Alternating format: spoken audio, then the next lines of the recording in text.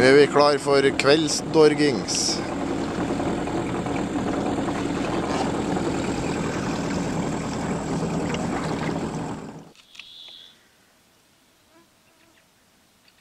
Står godt med ørret inni her nå.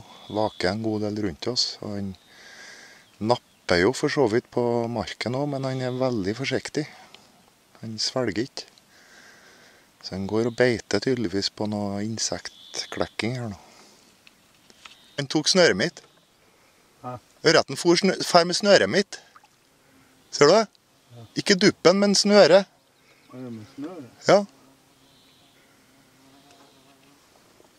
I helvete. Du må enge med snøret. Jeg må enge med snøret, ja. Endelig litt kvining i snelle.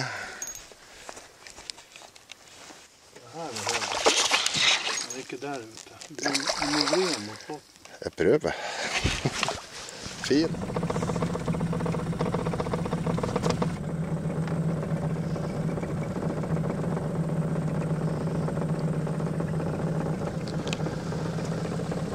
Går det an å ha det mer vakkert og bra enn det her, Hugo?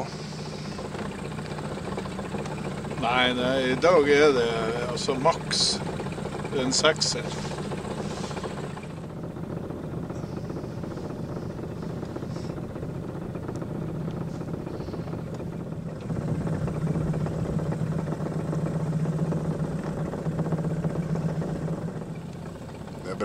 Nydelig en sånn stille kveld. En liten sekshester på hekken.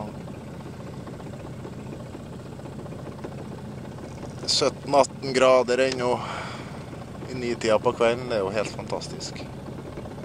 Vi måtte utnytte muligheten når det ble sånn kveldsstund som det her. Nå drar vi marklokker, som vi sier på trøndersk. Hadde et uh, skikkelig napp i stad, men uh, han uh, hang ikke. Så vi får se. Det er håp i hengende snøre.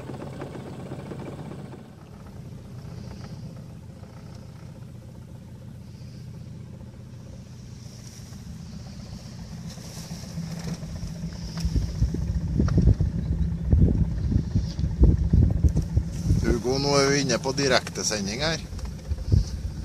Hva føler du nå? Føler for å få på noe. Det er jo en sånn nydelig dag. Det, det, man har jo ikke ord. Det er sånn man lever Oi, du har fisk! Du har fisk! Du har fisk!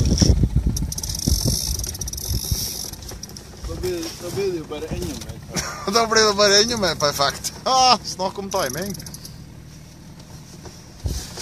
Nei, det er en, eh, en rik, Sånn Jeg så det er noen skikkelig vakringer bak her, ja. Kan du ta opp dette? Eh, Jeg kan ikke ta opp mitt nå, det får bare gå i bånn. For nå er vi jo inne, nå er vi inne på livesending her. Okay. Vi er på direktesending fra Det var noe jævla snodig at du skulle treffe. Ja, det var godt truffet at vi kom inn på direktesending. Jeg får heller bruke mitt gå i bunn, og så får vi ta det opp etterpå. Så det kommer litt i konflikt med andre eh, duppen din, men er han på ennå, eller? Pass, pass på så du ikke får slakk. Ser ut som det går bra, det der.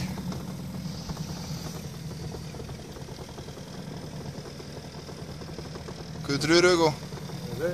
er- det reir?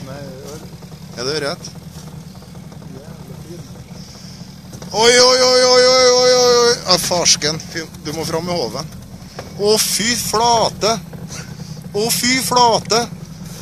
For å si det på godt Oi, oi, oi, oi, oi, Hugo. Hæ? Sjekk den, da. Ja, den var flott. Så du fargen? Seks-syv hekto, tenker jeg. Og de prikkene og den, de fargene, vet du. Oi, oi, oi. Her er liksom lykkebukta mi der. Det er her du tok den store røyra i fjor.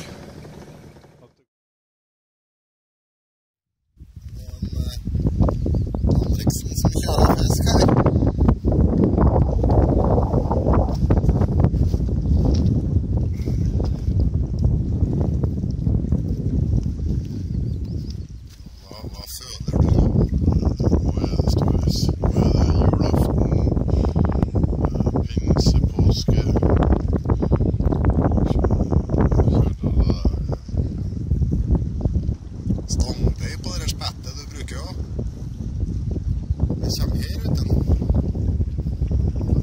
Pass på at den ikke får slakke.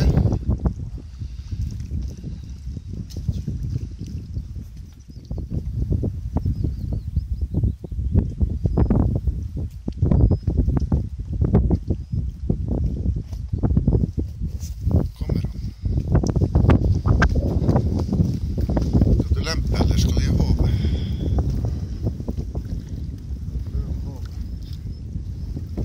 Oi, oi, oi, det lyser i rødt nedi der. Se den røyra! Den! Satan i helvete! Hadde Se den røyra!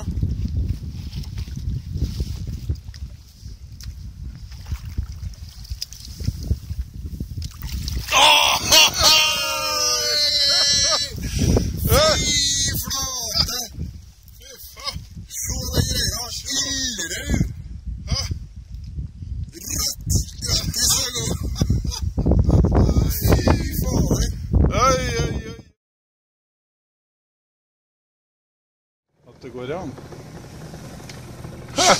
Utrolig fin fisk. Du får, du får pelle den fram litt. Rann.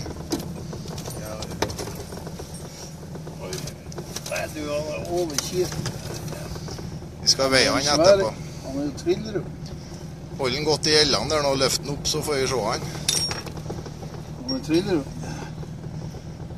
Se de prikkene, da. Ja. Åh, ja, den er en ja, se, ja, Jeg holder på 6-7 hekto, jeg, da. Han er sju, seks, sju. Utrolig flott ørret. Er trill. Helt utrolig, Hugo. Han eh, Kai, bror din, sitter og ser på direktesendinga her og Det direkte. Ja, det er direktesending på Facebook. Uff, uff, uff. Håper, håper vi ikke har bantes for mye nå, da. Ja, det er lov å bannes. Se den ørreten. Se den. Utrolig. Fantastisk farge. Åh. Ja, det var bare et uh, lite øyeblikk fra øyeblikks uh, fra fjellfiske i Sverige. See you later, folkens. Ble det liksom mer som en litt kjøligere trekk, som det går an å se på antrekket her, antar jeg. Det kom litt uh, mer fra nordvestvind plutselig. Så nå putrer vi mot uh, land borti her og setter oss uh, inne i denne fiskebuen. Og så koker vi litt vann og spiser litt mat og drikker litt kaffe. Vi må se hva det blir til videre. Det er noe Blir det regn, så drar vi hjem, men det ser greit ut ennå. Og utrolig fin den der uretten Hugo, da. Svære, svarte prikker og rød i kjøttet. og Vi estimerer den til 8 hekto. Du vurderer å løfte motoren.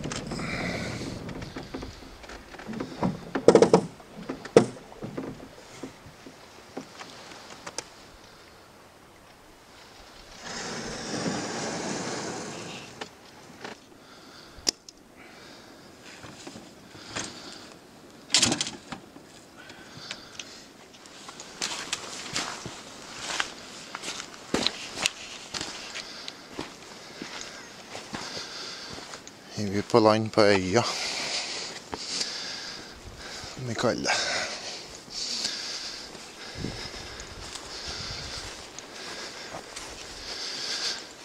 Og Svenskene er veldig flinke til å tilrettelegge.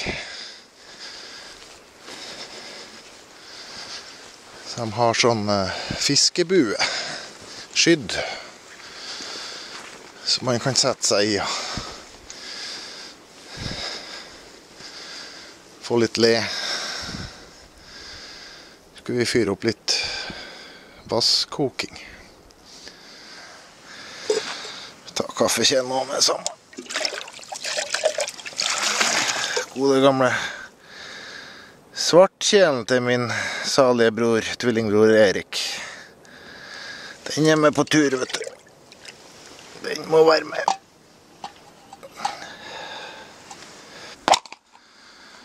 Så vi min Gode, gamle lille primus. Den må vi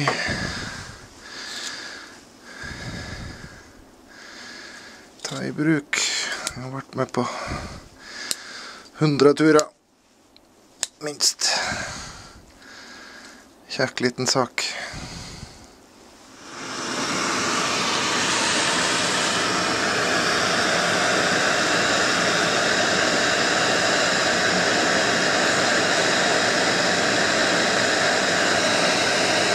Står noenlunde der. Hugo er ivrig til å fiske når han rigger til mark og søkke. Håv og hele greia.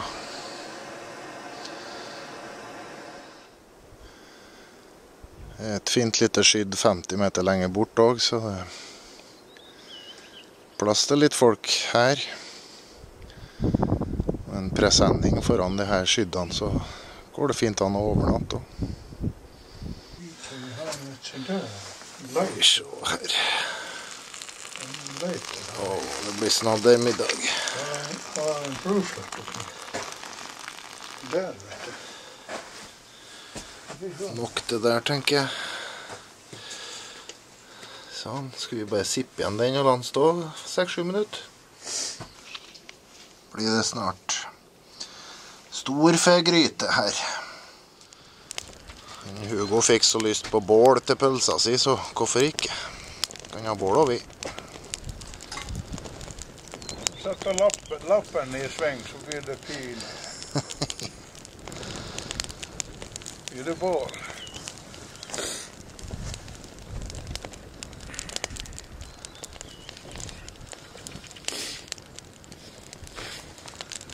Det var jo Det bålet der laga vi på ett minutt, Hugo. Det gikk fort, det. Ja, det, det er ikke bestandig at det er så tørt. Det var det i dag. Det var det. Så har vi jo det her Kaiene har jo eh, levna så fine ved, vet du. Ja, ja. Så er det bare lyst, lyst til å holde på. Det er jo alt på stell. De har tilrettelagt det bra for oss svenskene, ja.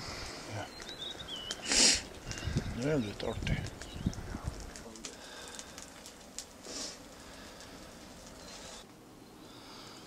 På XXL så har vi sånne her poser med kaffe. Det fungerer litt sånn som real turmaten, at du bare har oppi kokende vann til en målestrek. Og så traktes det inni der. Blir det 3 dl i hver pose. Det er utrolig god kaffe.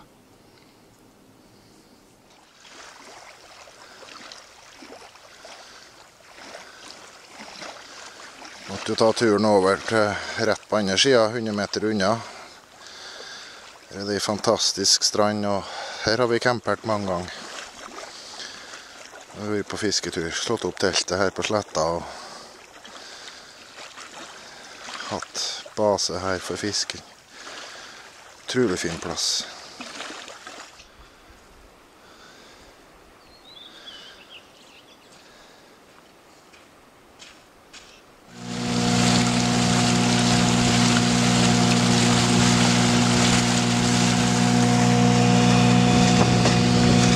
Krysser vi eh, over igjen til andre sida. Er på en måte litt på vei hjem, men vi skal nå se om det er noe fiskbart eh, underveis. eh, Om det er vake noen plass eller noe sånt. Så tar vi ned litt som det kommer. Men det har vært en helt utrolig fin tur.